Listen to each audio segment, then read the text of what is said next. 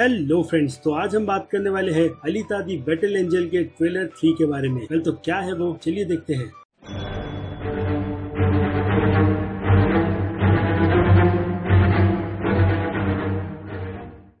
सो so friend जैसा कि आप सभी को पता है कि अलीता बैटल एंजल के ट्रेलर और टीजर का ब्रेकडाउन ऑलरेडी मेरे चैनल पर अवेलेबल है। तो इस वीडियो में मैं फ़िल्म के ट्रेलर का ब्रेकडाउन नहीं करने वाला हूँ। मैं आपको सिर्फ़ ये बताऊँगा कि ये ट्रेलर कैसा है और इस वजह से आप ये फ़िल्म देखनी चाहिए या नहीं। वेल well, दो मिनट फोर्टी थ्री सेकेंड के इस ट्रेलर में हमें वो सारी चीज़ें दिखाई गई है जो सिर्फ़ और सिर्फ़ जेम्स कैमेरॉन के दिमाग से ही बाहर आती है। लेकिन इस फ़िल्म का असली क्रेडिट जेम्स कैमेरॉन को नहीं बल्कि फ़िल्म के डायरेक्टर रॉबर्ट रेड विस्की को जाता है जिन्होंने इसके पहले सिन सिटी जैसी फ़िल्म बनाई है। आज सेकेंड पार्ट को छोड़ दिया जाए तो। लेकिन सच में फ़िल्म का ट्रेलर काफ़ी ज़्यादा प्रोमिसिंग है और इसे देखकर हम ये कह सकते हैं की सच में फ़िल्म बहुत ही ज़्यादा अलग लेवल पर बनाई गई है। और जो ट्रोलिंग इस फ़िल्म की एक्ट्रेस रोसा सलसार के कैरेक्टर को लेकर की जा रही थी कि उनका सीजीआई बिल्कुल खराब है तो अब वो मुझे ये जवाब दे कि इस फ़िल्म के ट्रेलर को देखकर उनकी क्या राय है? क्योंकि ये ट्रेलर हमें पूरी तरीके से फ़िल्म की डिटेल देता है कि फ़िल्म आगे कैसे बढ़ेगी और एनिमे से हटकर हमें इस फ़िल्म में क्या अलग दिखाया जाएगा? तो नो डाउट जेम्स कैमरॉन का नाम जहाँ पर आता है तो वो फ़िल्म काफ़ी ज़्यादा अलग हो जाती है। जबकि आप सभी को ये बात भी पता है की असल में इस फ़िल्म को डायरेक्ट जेम्स कैमरॉन ही करने वाले थे, और वो भी उस टाइम पर, जिस टाइम पर वीएफएक्स नाम की चीज़ हॉलीवुड में